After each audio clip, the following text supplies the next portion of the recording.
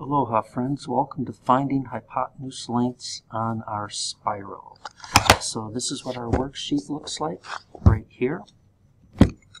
You've got, uh, we're going to be doing the hypotenuses today.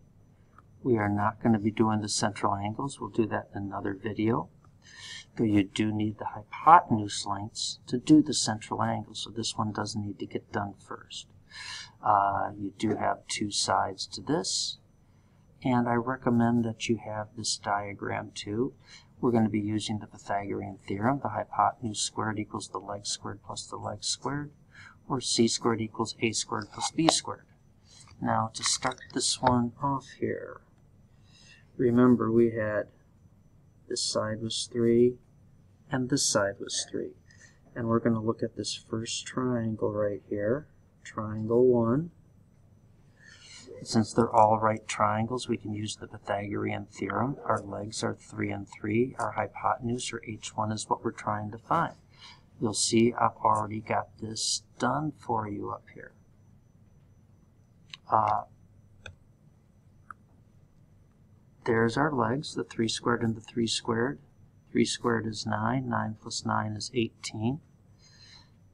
I didn't show this, but then I square rooted each side and that gave me this. h1 equals the square root of 18. Well, we need to reduce these. I do expect to see these steps. Well, 18 is 9 times 2. I know other things multiply to 18, 3 times 6, but I can't take a square root of 3, I can't take a square root of 6, I can take a square root of 9, that's why we use it. It comes out to 3 root 2.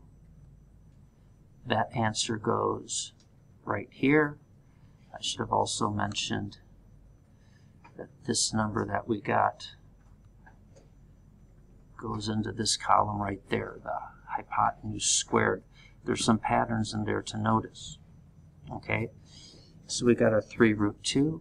I can put that into our calculator. Whoops. And 3 square root 2. I'm using the Desmos calculator. I do recommend using this calculator. You can see we got 4.242. That's going to round to 4.24. Go back to this. This, I don't know why I wrote this as a 3. It should have been a 2. I did some extra rounding. We've got 4.24 there. Okay, so you can also write that on this diagram here. So this side is 3 square root of 2. Now we're going on to our second triangle here. We'll highlight it in green. We know this side is 3, just like all these sides are 3 on the outside here. And we also have this for our other leg. So the hypotenuse for triangle 1 is a leg for triangle 2. I also have this one done for us already up here, so let's erase some of this. And so you'll notice 3 plus 3 root 2. You'll also see that this number just came down in there, just using that. So 3 squared is 9, 3 root 2 squared, well 3 squared is 9, root 2 squared is 2, 9 times 2 gives me 18, 9 plus 18 gives me 27. Again, this number goes into this column right there. I need to break this down a little bit. I square rooted each side. Square root of a square is just the h2, 27. I'm going to break up to 9 times 3. Again, I can take a square root of 9. Square root of 9 is 3 root 3. There's my simplified version. That goes right there. And 5 point, again, I wrote some numbers down here wrong. This should be a 6 as I recall. Here's a little trick you can use. So instead of retyping this whole thing, I'm just going to arrow back in there, backspace, and put in the 3. And I don't have to retype the whole thing. 5.196, well 6 I got to round up, that's going to go to 5.20. So you can see there's my 5.20 that I rounded it up to. Okay, let's go back to our diagram. For this one, I got 3 square root of 3. And I actually could have used any of the numbers. I could have used the square root of 27. You don't want to use the decimals on these. But we got another triangle right here. Triangle 3. In the gold box there. 3 and 3 root 3 are our legs. We're going to plug those in. Again, you'll see I got that one done for you up here. There you are. You'll also see, geez, the hypotenuse of the previous one became the leg of the next one. So that pattern is going to repeat in here. So multiply it out again. 9 plus 9 times 3, or 9 plus 20, gives me 36. This goes over here. Well, square root of 36, I could have gone right to 6, or I could go root 9, root 4, just follow the pattern I've been using. Square root of 9 is 3. Well, I can also take a square root of 4. Square root of 4 is 2. 3 times 2 gives me 6, so a couple of ways to get there. That goes into my, whoops, my fully reduced column right here. Now, this one, we have a pattern. You can see 3 root 2, 3 root 3. Geez, broke the pattern here. I got 6, but you can see from over here I do the square root of 9, square root of 4, I get 3 root 4. To make the patterns, please show that work in the box in the top for me. Okay, so I'm going to go to my calculator. Again, like before, I could have just changed that to 4. You can see that comes out to 6. Please note 6.00 for the decimal to a hundredths. It's supposed to go that far. Let's get rid of some of this yellow and this extra stuff in here. Okay, so let's do the next one. So I could put this side in as 3 root 4, or I could put it in as 6. Either way is going to work.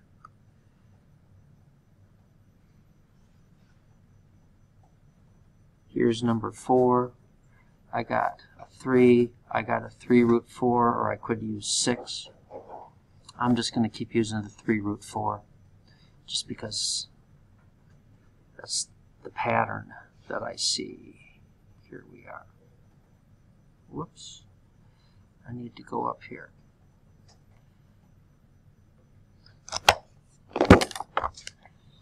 So on this one, I'm going to start it off h4, because we're in the fourth triangle, squared equals 3 squared plus 3 root 4 squared. You could also use 6 there if you want. Don't worry about that.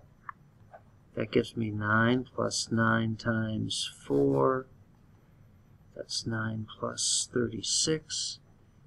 So h4 squared gives me 45. I'm going to square root each side h4 equals square root of 45. So I just did this. I didn't write that on there. I just wrote the result of it. And I'm going to break this up again. I'm going to use the same pattern that I've seen here and here and here. 9 times 2, 9 times 3, 9 times 4. That's going to give me h4 equals square root of 9 times square root of 5. So h4 equals 3 root 5. I forgot I could have put my 45 in right there. There's the 3 root 5. I already showed that one to you. Go to my calculator back here. There's my calculator. Let's arrow it back. Delete that. I think we got a 5 in there now. Let's put in the 5, 6.708. That rounds up to 6.71. So that's going to be H4 equals 6.71, and 6.71 goes in over there. This pattern just keeps repeating. Again, notice this number just came up down here. Repeat it again. Just like we're going to use this one again here too on the next one. So if I come down here, I got my next triangle there. That was pretty ugly. There we go. Follow the lines a little bit better. This was 3 root 5. You're starting to notice the pattern, aren't you? Make sure that pattern continues with your work. I will be looking for the work, but you can use these patterns to check your answers. So you can see my legs there, or you can just follow the pattern. Uh, h5 squared equals 3 squared plus 3 root 5. I just brought this down. Oops, forgot to put my square on that. So h5 squared is going to equal 9 plus 9 times 5. That's 9 plus 45. So h5 squared equals 54. Again, I'm square rooting each of those sides. H5 equals square root of 54 I'm going to keep following my pattern. h5 equals square root of 9, square root of 6. Because again, notice 3 root 2, 3 root 3, 3 root 4, 3 root 5. This one's going to be 3 root 6. Or that 9, you can see all sorts of patterns in here. Where's my blue? So h5 equals 3 square root of 6. So that's going to be 3 root 6. I should have put my 50. Hey, another pattern. 18 to 27, that's up by 9. 27 to 36, that's up by 9. 36 to 45, that's up by 9. 45 to 54, that's up by 9. Lots of patterns. I'm going to change this, get my 6 in there.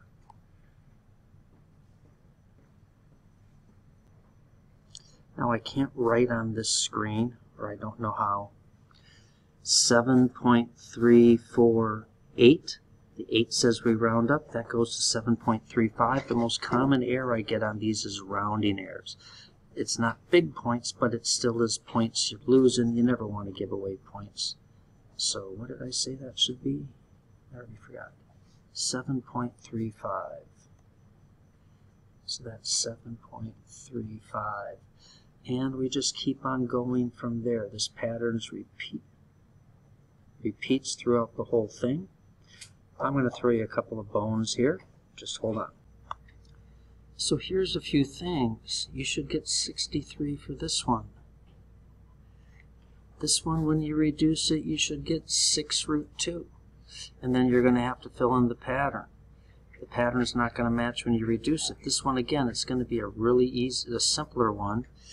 But you should be able to change that to 3 root 9 for the pattern. So there goes your pattern in there. On the other side, some answers you're going to get. Uh, let's say we should have a 108 right here. Let's look at this one, number 9. We should get 9.49 there. Uh, 13. 3 root 14 we should get in there. 15 we should get 12 right there. And number 16 we should have 153. Don't forget 12.00 for that decimal. Okay, that's it kids. Hope this helps. You have a good day.